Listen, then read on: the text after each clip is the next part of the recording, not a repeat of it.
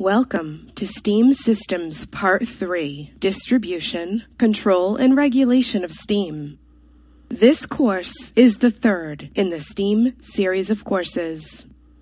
It is recommended that you take STEAM 1 and STEAM 2 before taking this course. This module was produced with the support of Spirax Sarco. At the completion of this course, you will be able to describe the basic steam circuit, explain why adequate drainage is important, list the benefits of steam and condensate metering, name the main components used in controlling and regulating steam, explain two typical applications and two typical methods of tracing. Identify the benefits of steam and condensate manifolds.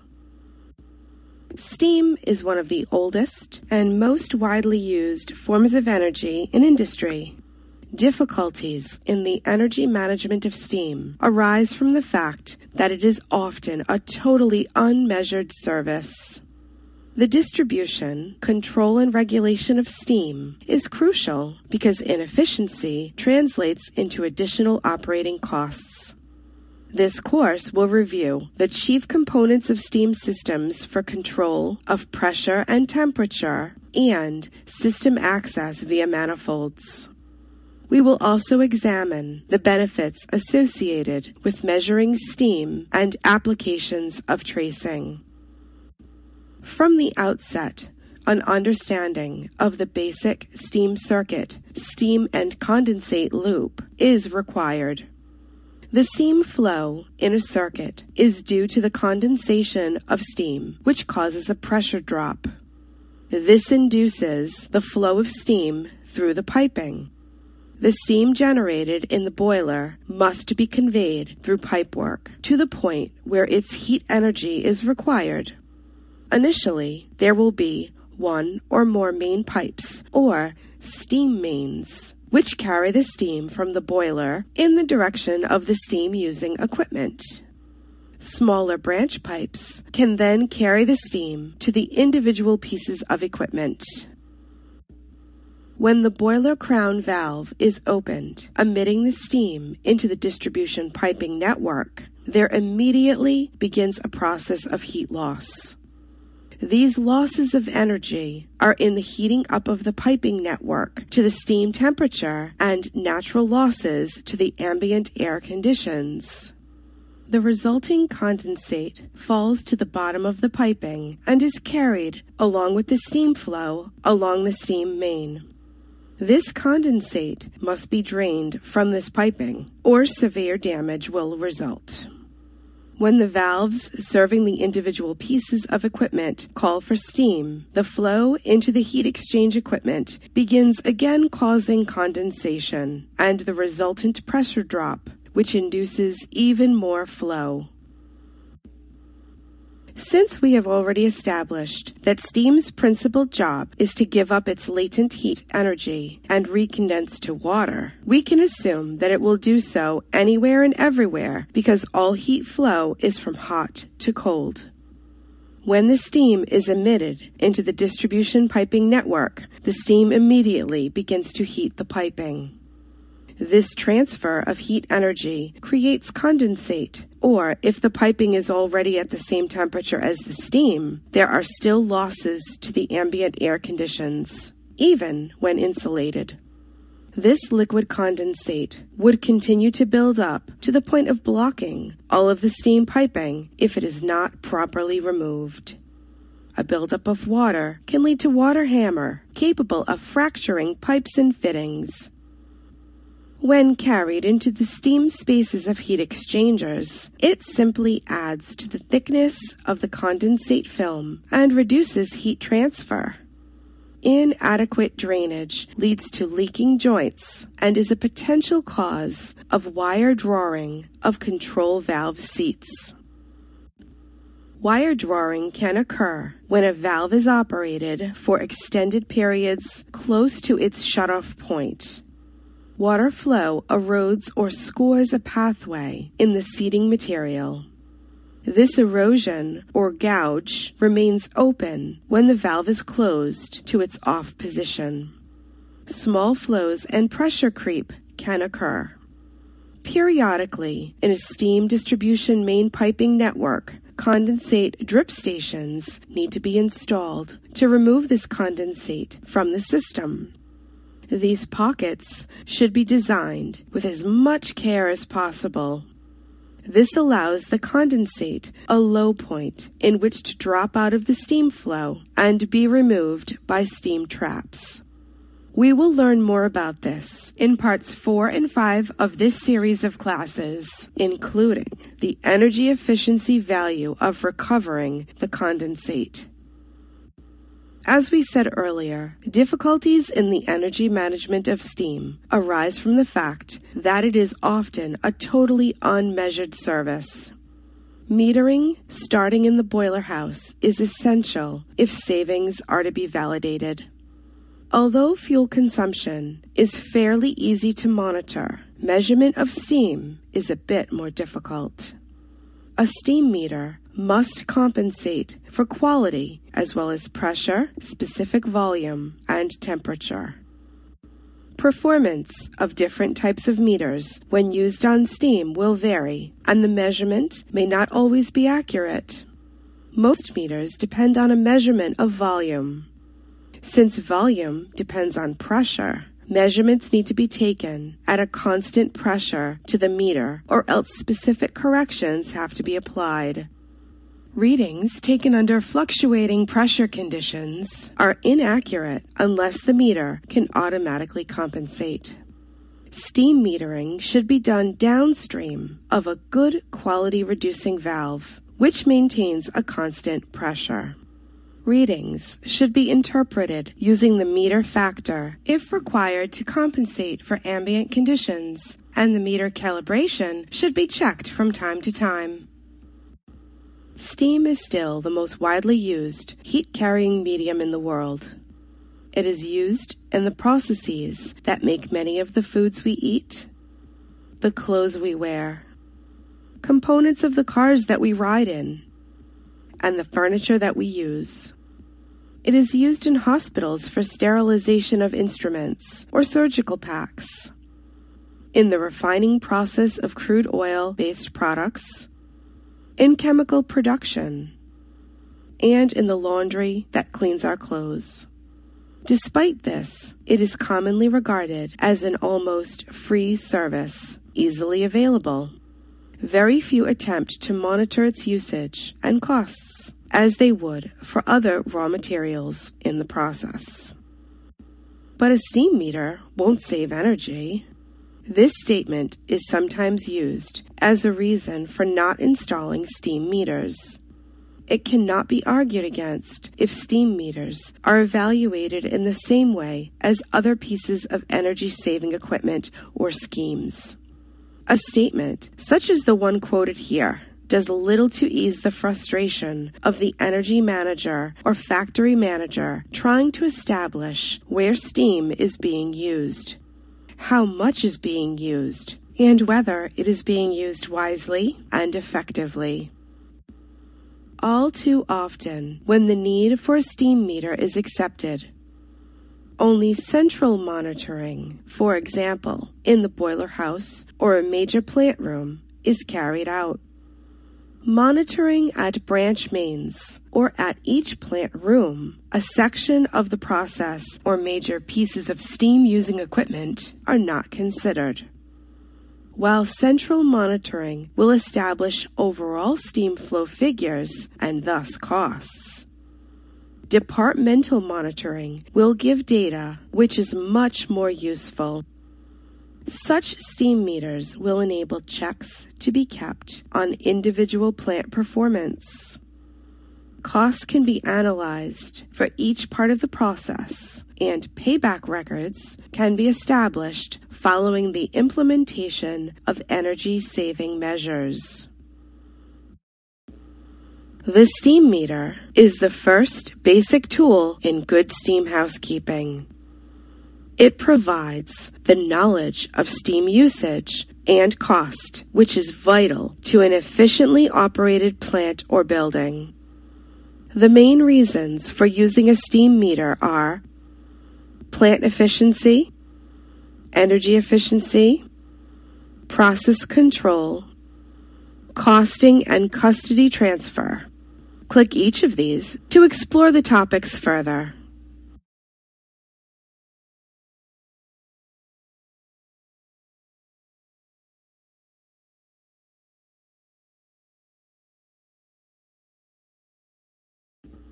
The proper control and regulation of steam, either in regards to steam pressure for equipment or for the flow of this valuable heat energy source to heat transfer equipment, is mandatory for today's industrial and HVAC steam users for efficient usage of this energy source.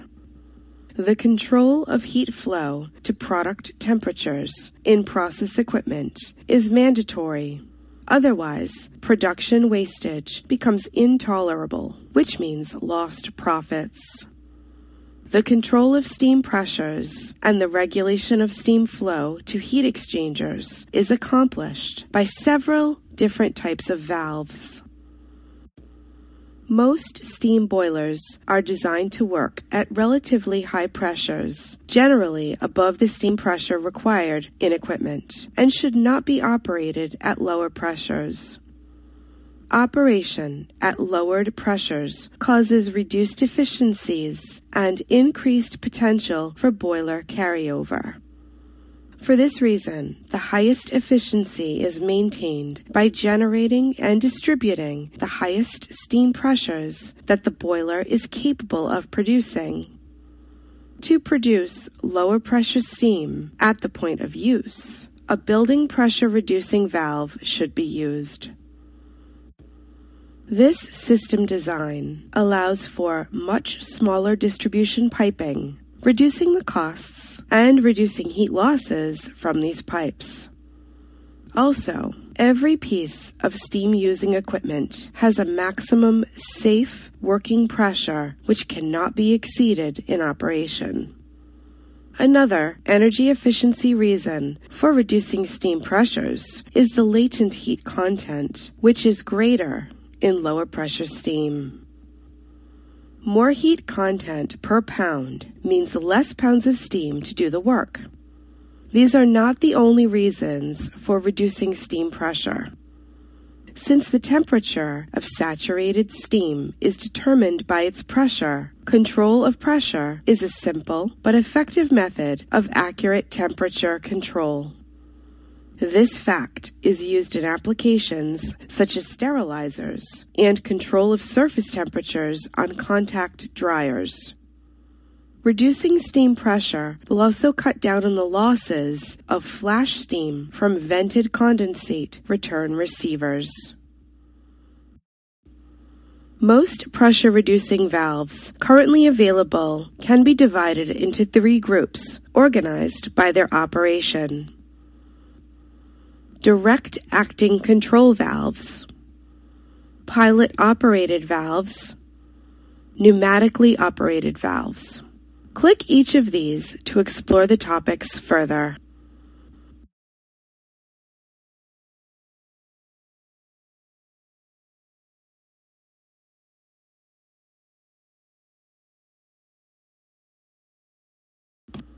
The direct acting valve is the simplest design.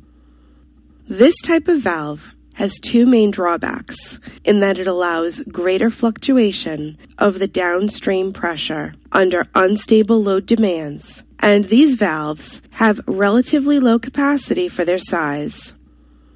It is nevertheless perfectly adequate for a whole range of simple applications where accurate control is not essential and where the steam flow is fairly small and reasonably constant.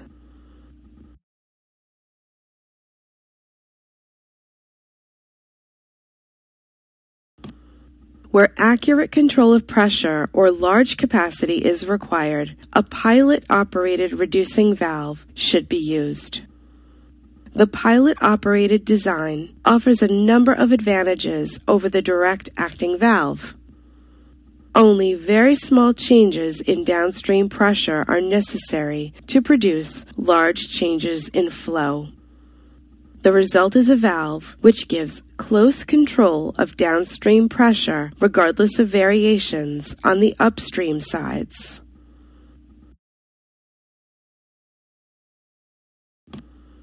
pneumatically operated control valves with actuators and positioners being piloted by controllers will provide pressure reduction with even more accurate control. Industry, sophistication, and control needs are demanding closer and more accurate control of system pressures, making pneumatic control valves much more popular today. Oversizing, a common industry practice, should be avoided at all costs, regardless of the type of control valve selected. A valve that is too large in capacity capabilities will tend to be eroded and almost always allow more or less flow through the valve than was actually needed, causing larger pressure fluctuations downstream. A smaller, correctly sized reducing valve will be less prone to wear and will give more accurate control. Where it is necessary to make bigger reductions in pressure or to cope with wide fluctuations in loads, it is recommended to use two or more valves in series or parallel to improve controllability and the life expectancy of the valves. Although reliability and accuracy depend on correct selection and sizing, they also depend on correct installation. Since the majority of reducing valve problems are caused by the presence of wet steam and or dirt, a steam separator and strainer with a fine mesh screen is fitted before the valve. As part of a preventative maintenance program, all strainers should be installed with blow down valves for regular dirt removal. If the downstream equipment is not capable of withstanding the full upstream steam pressure, then a safety relief valve must be fitted either on the downstream piping or the specific piece of equipment to be protected from overpressurization in case of valve failure. This safety relief valve must be sized to handle the maximum steam flow of the reducing valve at the desired set relief pressure. Most types of steam equipment need to utilize some form of temperature control system. In process equipment, product quality is often dependent upon accurate temperature control while heating systems need to be thermostatically controlled in order to maintain optimum comfort conditions. From an energy savings and quality point of view, controlling the steam energy supply to a process piece of equipment to maintain the desired product temperature, whether air or any product, is mandatory. If process systems are not controlled to the desired temperatures, then the system will run wild, either not providing the required heat energy or overheating the product to unacceptable levels. Temperature control can be accomplished by several methods and valves. Manual control valves, self-acting control valves, pilot operated control valves, and pneumatic control valves. Click each of these to explore the top. Manual valves can be applied to a piece of equipment to control the energy supplied to the process as simply as they are used to regulate the flow of other fluids. The major drawback of manual valves to control temperatures is that these valves will undoubtedly need frequent adjustments and monitoring to maintain just the correct temperatures under constantly changing load conditions, which is the case of most pieces of process equipment.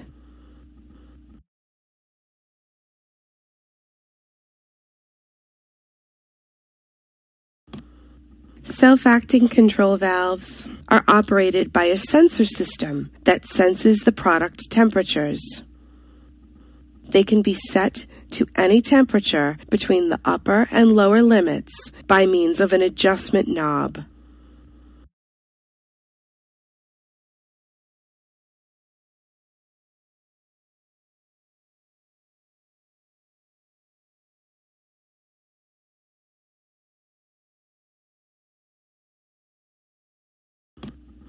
Pilot operated temperature control valves control a small pilot device, which in turn operates the main valve for throttling the steam flow. The sensing system is much smaller in physical size.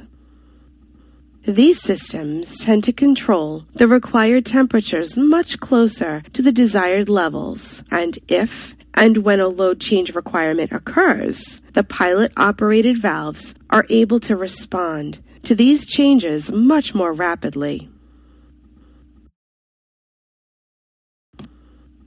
Pneumatic control valves rely on control signals from an external sensing system, converting this temperature signal into either a compressed air signal to actuate the valve or from a temperature signal to an electrical signal.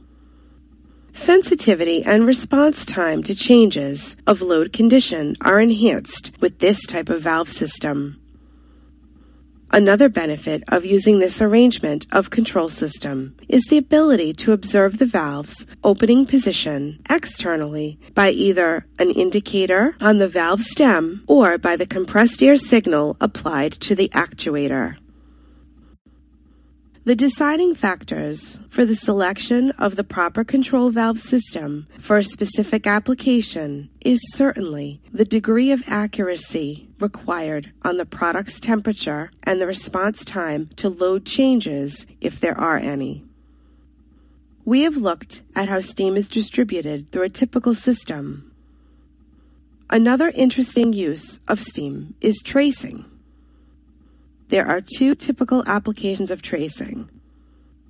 They are typically referred to as either process fluid, critical, or freeze protection, non critical tracing. There are different requirements for each as far as heat is concerned, so we will separate their requirements prior to discussing how to attach tracing to the application. Tracing is, as its name implies, a pipe or tube following either process fluid lines or lines where it is desirable to prevent freezing during the winter months. Steam tracing is the distribution of steam through small bore tubing or pipes, which basically transfer heat to a larger pipe to keep the fluids from becoming viscous, solidifying, or freezing. Typically, Process fluids are already at as high a temperature as desired.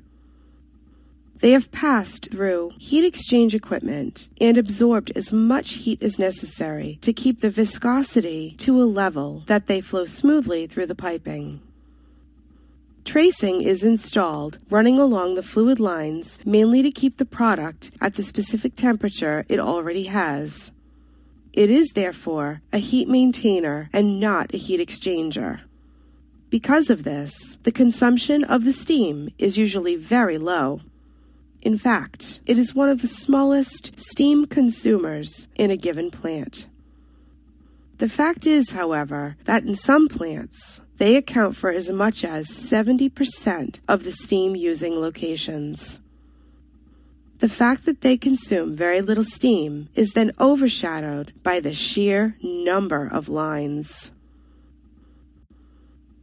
In areas where freezing conditions prevail during the winter months, many different types of systems require protection from freeze up.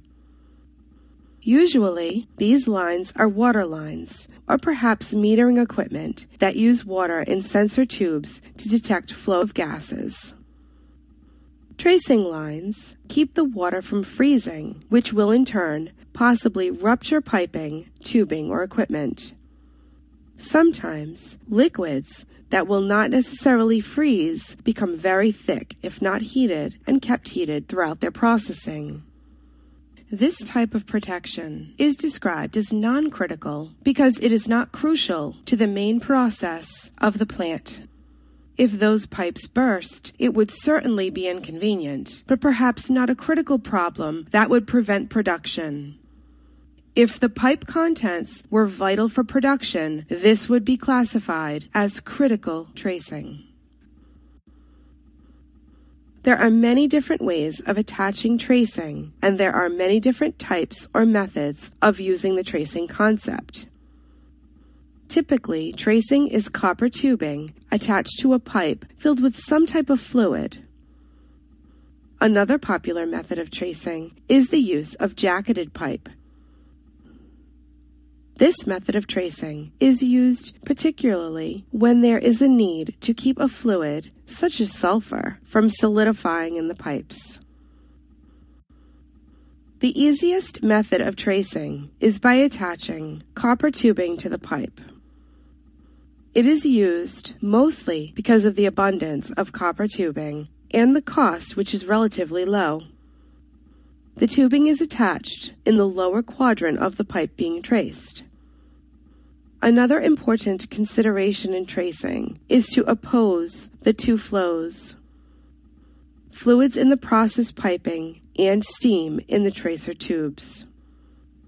This may not always be practiced, but there are some solid reasons why you would want to consider doing this. Think about what the tracer job is. Maintain heat already absorbed by the process fluid. As it transfers from point A to point B in the plant, heat will naturally be lost through the insulation. The job of the tracer, then, is to allow transfer of the heat of the steam into the flowing fluids as it is lost to the atmosphere. The tracer line, then, should also be installed running in a straight line as far toward the bottom of the piping as possible. The tracer is housed inside the insulation wrapping on the pipe, and we gain much benefit from attaching it in this manner. Heat, which you may recall, rises naturally and surrounds the piping, allowing for as much natural conduction of joules or BTUs as possible. This heat barrier also reduces the heat losses from the process fluids. On some occasions, the amount of heat available and temperature of the steam is such that spacers are used to prevent burning the liquids on the inside of the process lines. This could cause coking of the lines and also restrict flow of the process.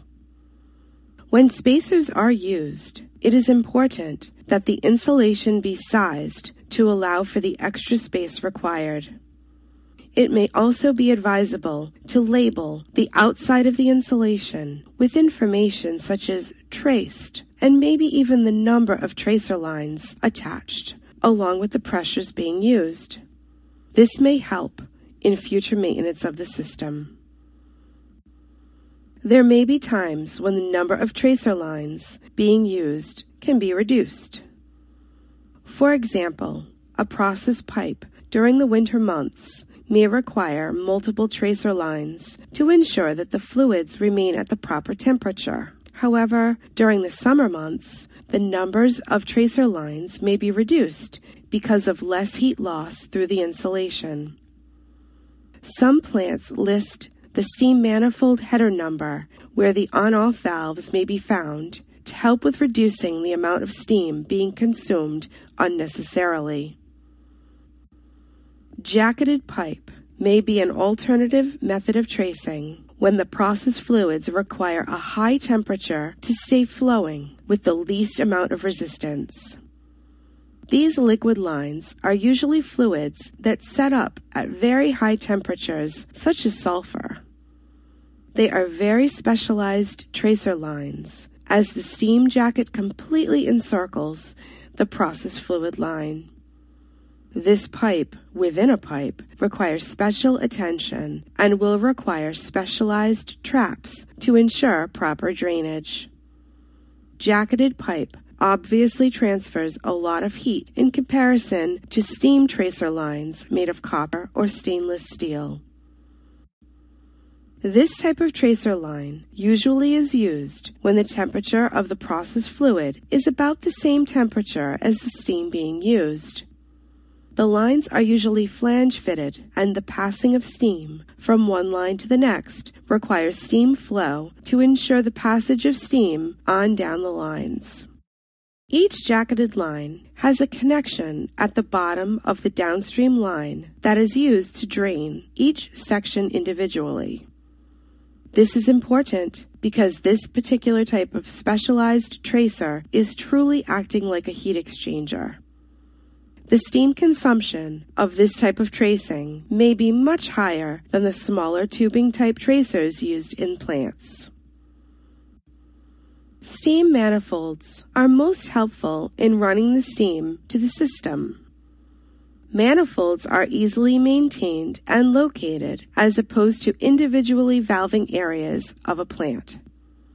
A centralized location for manifolds ensures operators of turning on and off the correct valves for tracing. Manifolds should be fitted with a tag that identifies what lines are traced and how many lines are going to that particular process line. Other considerations for manifolding steam lines is the ability to control automatic valves on and off. If the tracing on a particular manifold is used for freeze protection, ambient sensors on control valves will automatically turn the steam on when needed. This ensures that the steam is turned on and off properly. The important word here is off. It is not unusual to see steam lines turned on during a particular time of year.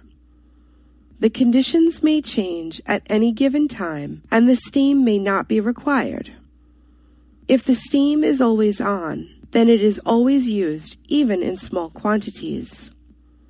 This is wasteful and should be avoided. As this course has mentioned, it is important to conserve this precious and costly commodity called steam. Even though tracing systems individually use small amounts of steam, remember the sheer numbers of lines that may be involved. Condensate manifolds are also very useful in any typical plant that uses tracing. The condensate manifold itself locates traps and tracers in a small given area. The condensate from the tracer lines is usually very high quality condensate and should be collected and returned to the boiler. There is normally no cross contamination of product fluid lines to tracer lines. Condensate manifolds also make it very easy to find and monitor the tracing traps being used. Each trap station on a manifold should be tagged with a number that identifies the trap, size, and pressure so that a maintenance program can help determine the correctness of either the traps being selected or the size of the trap being used. These manifolds can be either horizontally or vertically designed depending on the space available and the specification of any given plant. We will learn more about condensate in the other classes in the STEAM series. Let's take a moment to review what we've covered throughout this course. The basic steam circuit is a steam and condensate loop where the steam's job is to give up its latent heat energy and recondense to water. It is important to remove any condensate that forms within the steam pipes. The benefits of measuring steam include improvements in the plant efficiency, energy efficiency, process control, and costing and custody transfer. Controlling and regulating steam is necessary to avoid waste and provide steam of the correct pressure, and temperature. This can be done through pressure reducing valves, direct acting control valves, pilot operated valves, and pneumatically operated valves, and temperature control valves, manual control valves, self acting control valves, pilot operated control valves, and pneumatic control valves. Two typical applications of tracing include process critical tracing and freeze protection non critical tracing. Two typical methods of tracing are copper tubing and jacketed pipe. Steam manifolds are most helpful